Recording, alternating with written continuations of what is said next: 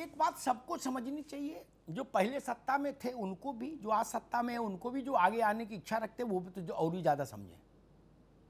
शबनम जी, इस देश में छियासी फ़ीसदी एटी सिक्स परसेंट किसान ऐसा है, आलोक मेरी बात की गवाही देंगे। ऐसा है जिसके पास दो एकड़ या दो एकड़ से कम की जोत है। ठीक? बहुत छोटी जोत होती है ठीक? इसका मतलब कॉन्ट्रैक्ट फ़ार्मिंग का सी नहीं कर सकता ये दो एकड़ में। दो एकड़ में क्या कॉन्ट्रैक्ट कर लेगा? उतना तो पैदा नहीं हो रहा जितने बच्चे खा ले। बोरे भर के एक आध बोरा कुछ निकला भी मूंग उड़द तो वो बेच आया, उससे बच्चों को कपड़े आ गए गर्म सर्दी में। खत्म खेती खत्म खेती, समझ गई ना? छियासी फ़ीसदी कितना? तब क्या चौदह फ़ीसदी के लिए हायतोबा मचाए हैं सब लोग? मेरी चिंता है छियासी फ़ीसदी की का इलाज पहले करो। जैसे कोरोना में हमने प्रायोरिटी सेक्टर बांटा ना, राजनीतिक व्यक्तियों के चरणों में ये तर्क रख रहा हूँ। कोरोना में हमने प्रायोरिटी सेक्टर बांटा ना, गंभीर बीमार, बुज़ुर्ग, हेल्थ वर्कर और सिक्योरिटी फोर्सेस। उसके बाद हट्टे कट्टों को मिलेगी। ये छियासी फ़ीसदी का तो सोचो, कैसे कैसे तर्क बना दिए? मान लीजिए कोई पाँच हज़ार रुपया महीना कमाता है। और नोएडा लखनऊ गाजियाबाद में रहता है बड़े शहर में। अब हम उससे कहें कि मैंने तुम्हें छूट दी, तुम मैकडोनाल्ड में भी पिज्जा खा सकते हो और पिज्जा हट में भी खा सकते हो। वो कहेगा, चाचा, मेरे रोटी का तो पैसा नहीं, पिज्जा कहाँ से खाऊँगा? इस छूट को मैं अवेल कैसे करूँ? अब आप बताओ, ननकू को या रज्जाक को, हंसीएगा नहीं मेरी बात पे, दिमाग में आ गया इसलिए कह रहा हूँ, रज्जाक या ननकू को किसी सात तारा होटल के स्पा का बाउचर दे दो फ्री का। वो कैसे घुसेगा होटल ये तो बता दो भैया। वहाँ तक आने जाने का पैसा नहीं। और कपड़े दे के घुसने नहीं देगा होटल वाला। और आप कहोगे, मैंने स्पा का तुमको बाउचर दिया था। वहाँ जाके नाखून रगड़वाते तो चमक नहीं आ जाती। फूट मसाज और क्या क्या कराते? समस्या रो पेट की है। हम कह रहे, जी फेशियल कराओ। फेशियल से काम चलेगा। छियासी फ़ीसदी का क्या होगा? और एक व्यावहारिक समस्या, में राजनीतिक किसी पार्टी के पक्ष, विपक्ष में कभी नहीं होता। मैं व्यवस्था पर सवाल करता हूँ।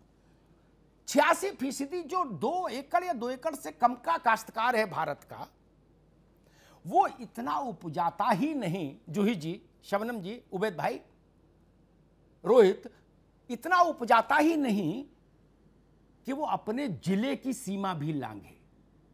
अगर ज़िले की भी सीमा लांघी तो सारा फ़सल मिट्टी हो गई। वहाँ एक ट्राली गेहूँ हुआ उसका है पूरा, मुश्किल से।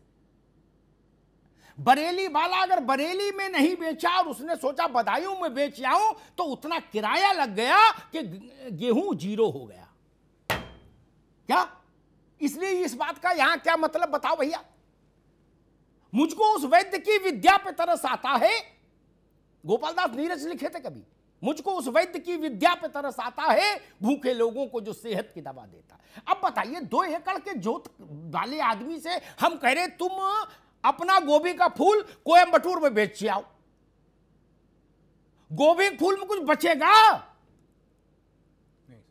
आठ हज़ार रुपया का गोभी का फूल पैदा हुआ, पूरा मान लीजिए। है? सोलह हज़ार आने जाने में लग गया, बर्बाद हो गया, आठ हज़ार जेब से दे। उस छूट का फ़ायदा नहीं।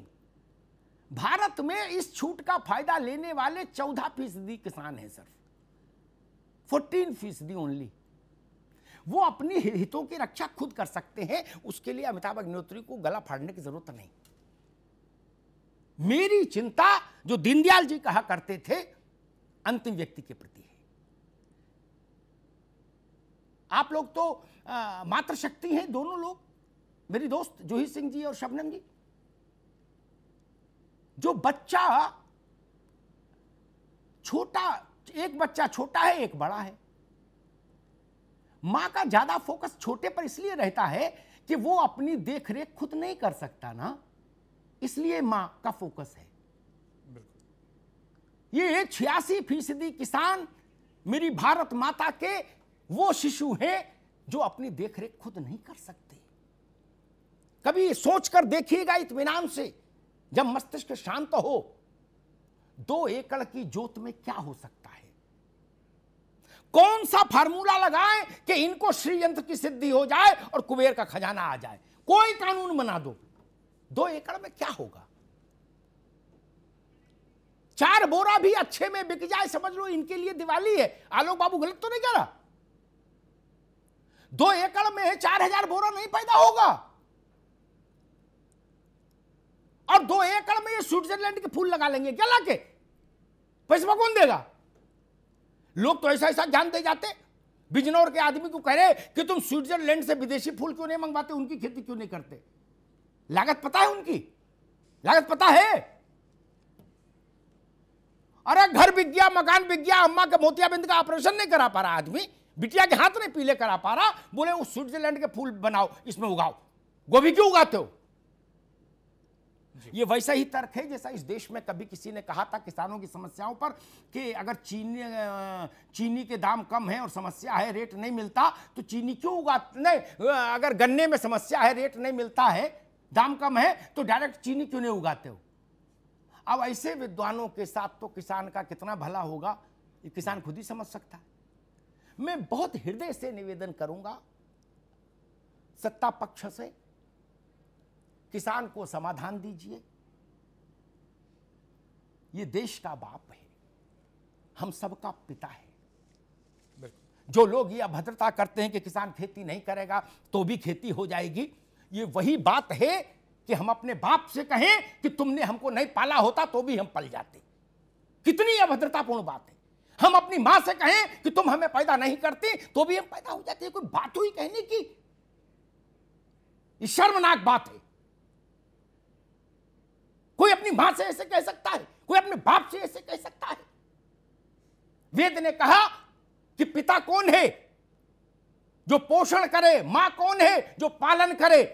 किसान पोषण भी करता है, पालन भी करता है। वो माँ भी है, पिता भी है।